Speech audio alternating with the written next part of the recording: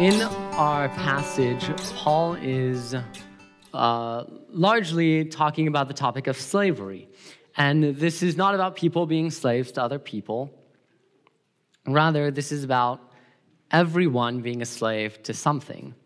This is not a slavery of the body where our body is held captive, but a slavery of the heart where our heart is held captive, right? And how does this issue come up? It begins when Paul, playing an objector, asks the question What then? Are we to sin because we are not under law, but under grace?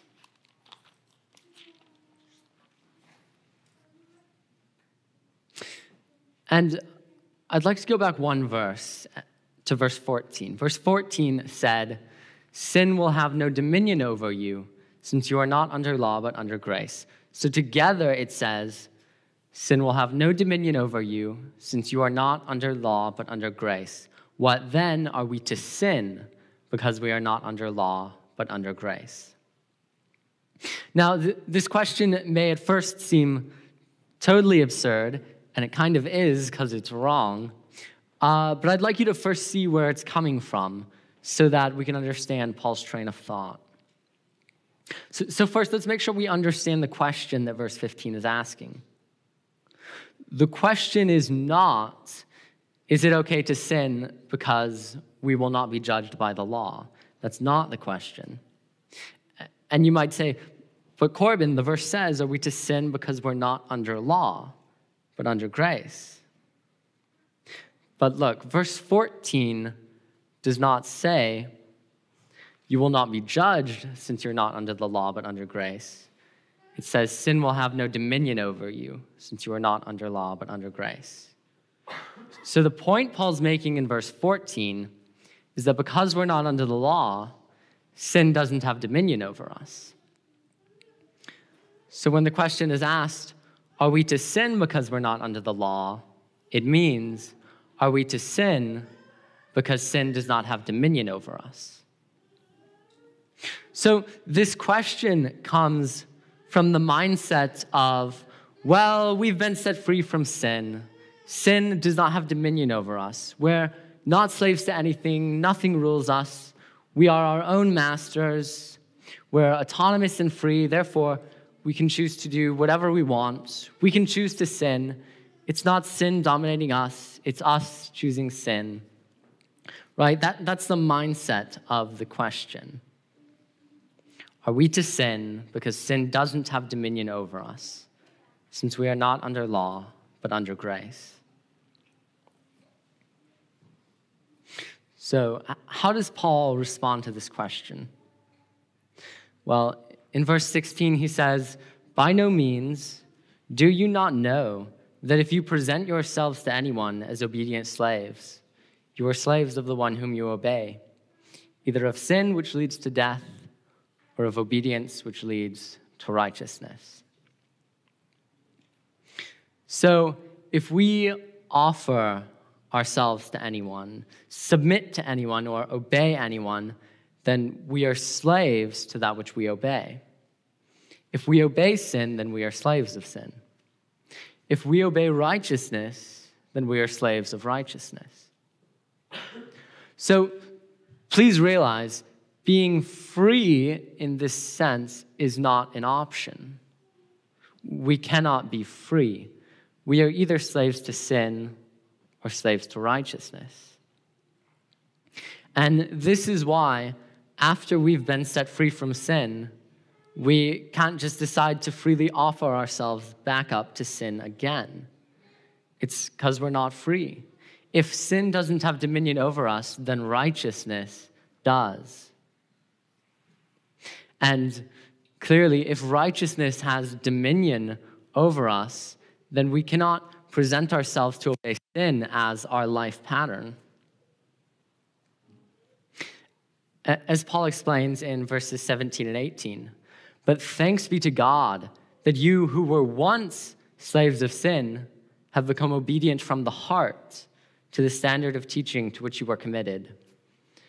And having been set free from sin, have become slaves of righteousness. So, again, th- this is why it is wrong to think that once we are set free from sin, we can then use that freedom to choose to live sinfully. Paul, Paul is saying, no, it doesn't work like that. Once our hearts are set free from slavery to sin, we are made slaves of righteousness. Right? We, we cannot be our own master. We will either have Christ as our master or we will have Satan as our master. And the, there's an important application that these verses have. You see, Paul was refuting a certain idea the idea that we can be freed from sin's power, but then still just decide to go on living sinfully. He, he explained that this idea is wrong because when we are set free from sin, we are enslaved to righteousness, and therefore will live righteously because that is our nature. We become obedient from the heart. And, and why is this important? The answer is because many people believe uh, this false view that Paul was responding to. People think that after the Spirit sets them free, they can then choose to live a sinful life. But, but they're not in bondage, they're not slaves. It's just them being free and choosing sin, right? But again, that is not how this works. God frees us from sin's mastery so that he can be our master. Now, in 2 Corinthians 13, verse 5, Paul wrote, Examine yourselves to see whether you are in the faith. Test yourselves. Or do you not realize this about yourselves, that Jesus Christ is in you, unless indeed you fail to meet the test? So, Paul was writing to the church at Corinth, and he told the church to examine themselves to see whether they were really saved whether they were really in the faith. So, we as a church should examine ourselves to see whether we are truly saved, right? And how can we know if we're saved? Well, our passage said, You who were once slaves of sin have become obedient from the heart to the standard of teaching to which you were committed, and having been set free from sin, have become slaves of righteousness. So true Christians are obedient from the heart.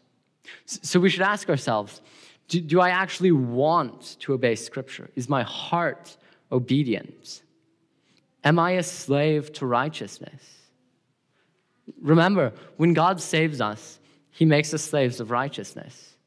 So if you are not a slave of righteousness, then you are not saved. Now, please understand, I, this does not mean that, that Christians are totally righteous. We're not. In James chapter 2, verse 2, he said the simple sentence We all stumble in many ways. We all stumble in many ways. So, so stumbling does not mean you're not saved. We all sin. But still, even though we stumble, true Christians will get back up. We will always come back to righteousness because we are slaves of righteousness. We will repent and continue to pursue obedience to God because our hearts are driving us to obedience. Right? So, in light of these teachings, we should examine ourselves to see if we are saved. Are we slaves of sin or slaves of righteousness? Right? So, to summarize what we've looked at so far uh, in verses 15 through 18. Um, so, so, Paul, playing an objector, asked the question now that sin doesn't have dominion over us, can we still obey sin? When we're saved, do we have the freedom to be our own master? Can we be saved and still present ourselves to sin? And Paul answered, no when we are saved, we are both freed from sin and enslaved to righteousness. Christians are not their own masters. Our hearts are devoted to God. And so, in light of that, we can examine ourselves to see if we are truly in the faith. We can look at our lives to determine whether we are obedient to sin or obedient to righteousness as the pattern of our life.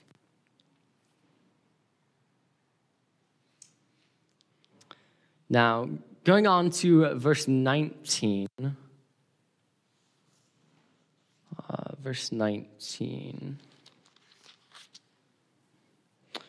We read, I'm speaking in human terms because of your natural limitations.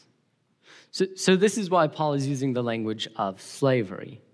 Instead of just straight up talking about spiritual truths and totally confusing us all, he's using the familiar concept of slavery to help explain the spiritual truths he's teaching.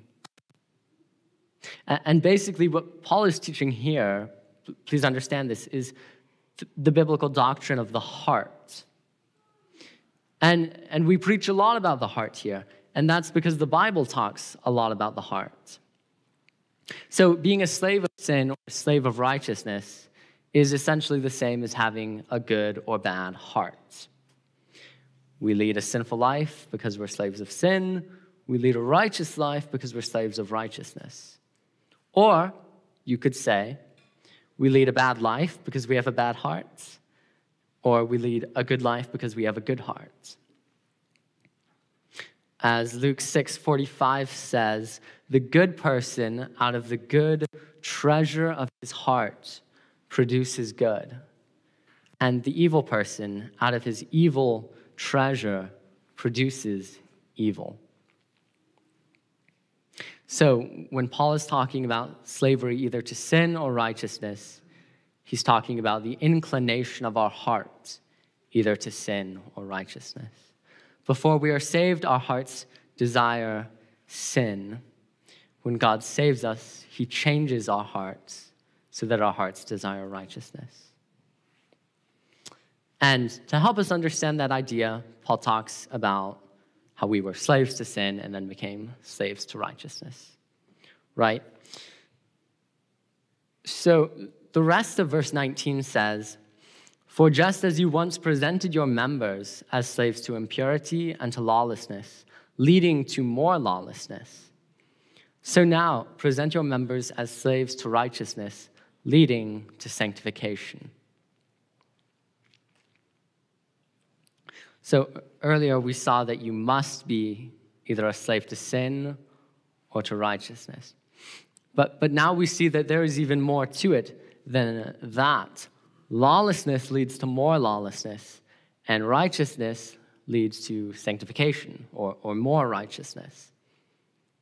So you have to be on one side of the fence or the other, and you will be increasing. You don't stay where you are, right?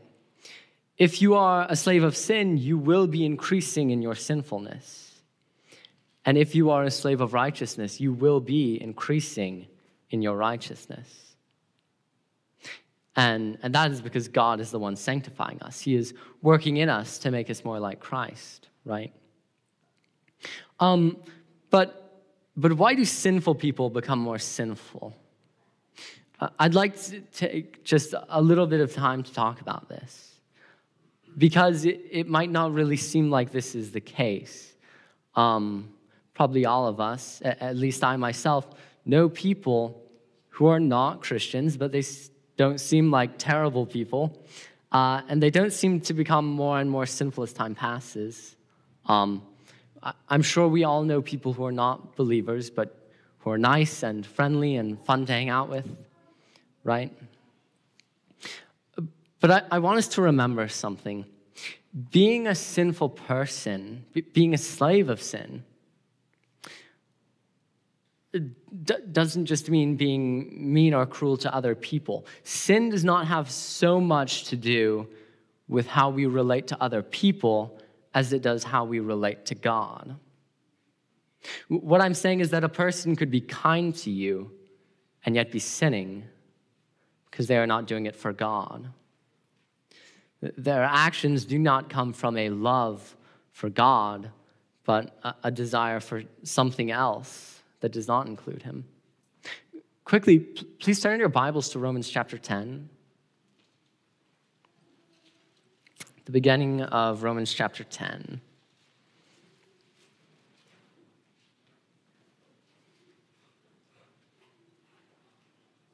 So, uh, at the beginning of this chapter, Paul is talking about the Israelites.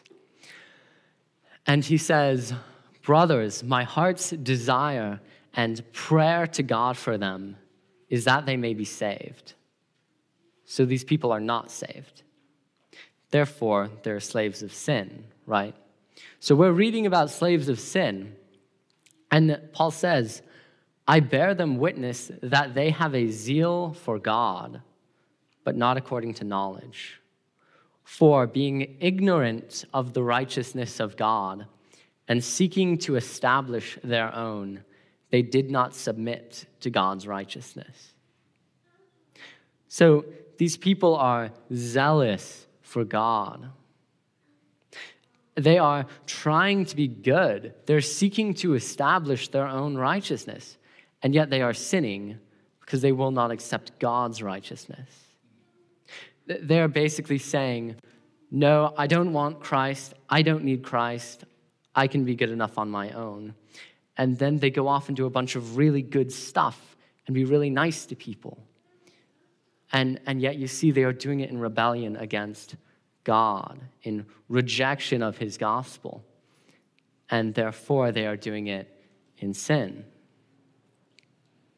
So please, please understand when we talk about things like slavery to sin or, or total depravity, those teachings don't mean that everyone in the world is a murdering and thieving and treacherous monster that will try to kill you every time they see you. Okay? But it does mean that none of the things that they do are done for Christ. Their, their hearts are slaves to sin. Their hearts do not love Christ. Nothing they do comes out of a love for Christ. And therefore, everything they do falls short of righteousness so it is all counted as sin. And furthermore, in Romans chapter 1, verses 1 and 24, we read For although they knew God, they did not honor him as God or give thanks to him. But they became futile in their thinking, and their foolish hearts were darkened. Therefore, God gave them up in the lusts of their hearts to impurity. So, so slaves of sin, even the ones that appear to be kind and fair to people, they do not honor God. And because of that, God gives them over to their sin. He gives them up to greater and greater lawlessness. And so they increase in their sin. That is, they increase in their rebellion against Him and their hatred of Him.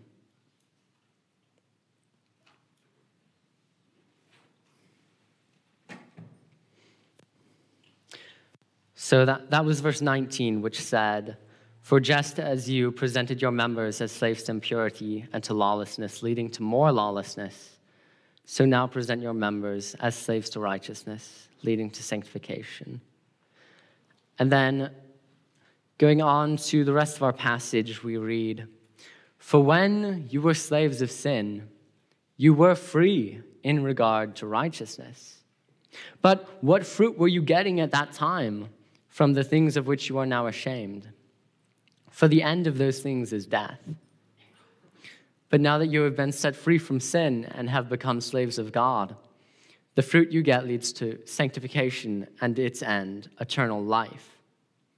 For the wages of sin is death, but the free gift of God is eternal life in Christ Jesus our Lord. So, Earlier, I said that you have to be a slave, and that's true. But verse 20 says, when you were slaves of sin, you were free in regard to righteousness. So it is also true that you have to be free, right? If you're a slave to sin, then you're free from righteousness.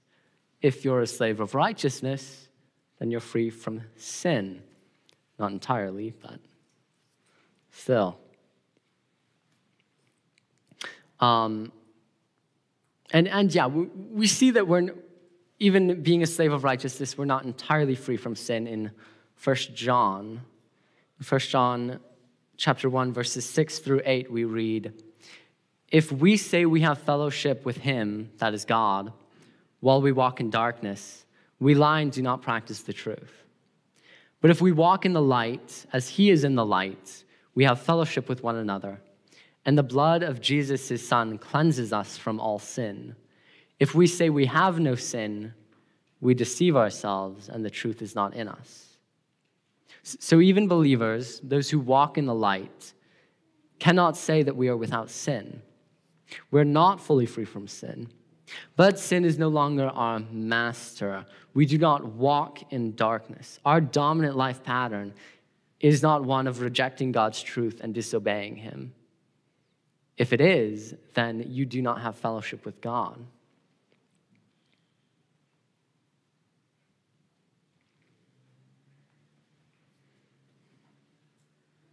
And, and I'd like to ask the question like, why does this matter? We have to be a slave to sin or righteousness, but why is one better than the other? Why would we want to go from being a slave to one thing to being a slave of another thing, right?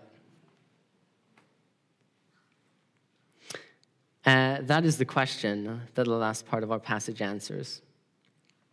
So, starting at verse 21, we read, But what fruit were you getting at that time from the things of which you are now ashamed? For the end of those things is death. But now that you have been set free from sin and have become slaves of God, the fruit you get leads to sanctification and its end, eternal life. So, so remember, you can't be on the fence. You're either on one side as a slave to sin, or you're on the other as a slave to righteousness. And also, you don't remain where you are, everyone is progressing. You either progress in your sin or you progress in your righteousness. God is either sanctifying you, making you more and more like Christ, or He is handing you over to your sin, leaving you to become more and more wicked. And, and then finally, we reach the end and we get our reward, right? The wicked progress in their wickedness until they receive their just reward, which is death. And God progresses the righteous in their righteousness until they receive what Christ earned for them, which is life. And, and I want to make sure we are understanding what these terms life and death mean, because it is more than just physically dying, right? Because, I mean, in fact, clearly we all die. Christians die, right? We still receive physical death, but not the death that this passage is talking about, right? So, first, what does it mean to have life? In John 17, verse 3, we read, This is eternal life, that they know you, the only true God, and Jesus Christ whom you have sent. So to have life in its fullness means to have fellowship with God. It means to know Him, to delight in His glory, right? And then on the other side, we have death. In Revelation 20, verses 12 through 15, we read, And I saw the dead, great and small, standing before the throne, and the books were opened. Then another book was opened which is the book of life. And the dead were judged by what was written in the books, according to what they had done. And the sea gave up the dead who were in it. Death and Hades gave up the dead who were in them. And they were judged, each one of them, according to what they had done. Then death and Hades were thrown into the lake of fire. This is the second death, the lake of fire. And if anyone's name was not found in the book of life, he was thrown into the lake of fire. So, to receive the death that this passage is talking about means to be thrown into the lake of fire. It is an eternity of hell, right?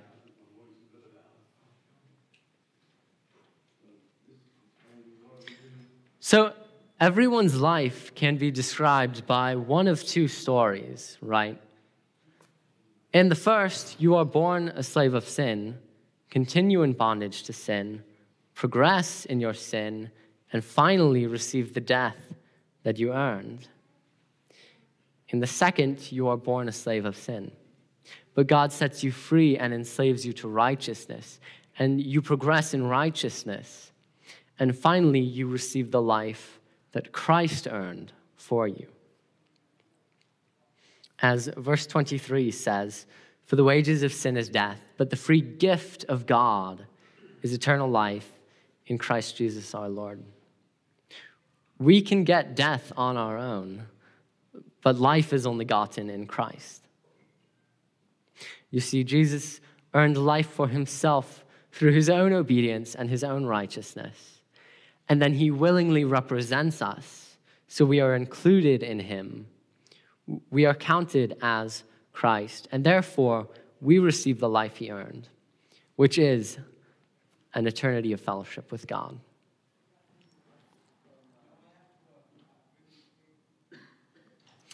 So I would like to finish with three closing thoughts.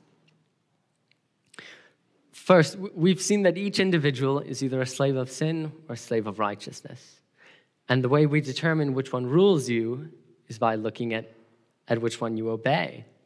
So, therefore, we should examine ourselves, right?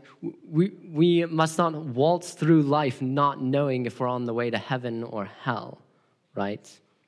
Examine yourself. Examine your actions and your thoughts and your desires. Ask godly people what they think. Pray for wisdom, right? So, first of all, examine yourself. Secondly, if you are not saved, if you uh, examine yourself and determine you are not saved, then I pray that you would see how dire your situation is. You are a slave to a cruel master who is going to kill you forever. And you are also currently free from everything good and right. So, by God's grace, recognize that and come to Christ he is a good master. He walks beside you and leads you into the life that He died to bring you. Jesus stands ready to receive all who come to Him. So come to Him.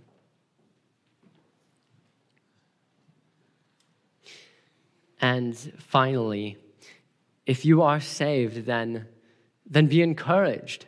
You are free from your former bondage. You no longer have to submit to sin. You are free to delight in God. And also remember, the Christian life isn't static. You don't stay where you are, you progress. So, again, be encouraged. Your life story is going to be one of godliness that increases and increases and increases, slowly but surely, until the day when you are perfected. Proverbs 4, verse 18 says, The path of the righteous is like the light of dawn, which shines brighter and brighter until full day. Your life is going to shine brighter and brighter until the day when you perfectly reflect the glory of your Savior. God began this work in you, freeing you from sin, and He will bring it to completion. So let us rejoice in that. And I, I don't mean to suggest that the Christian life is easy or painless, but it is joyful. The more God sanctifies us, the more we will love Him. And the more we love Him, the more joy we will have in Him. So we are truly a blessed people, and we have much to look forward for.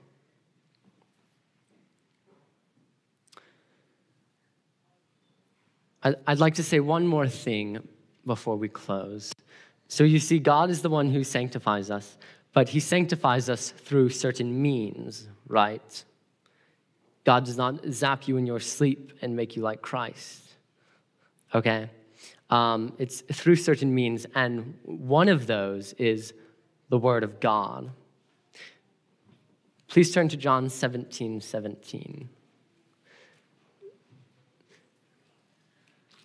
And I, I would recommend memorizing this verse. I, I would submit to you that this is one of the most important verses for the Christian life.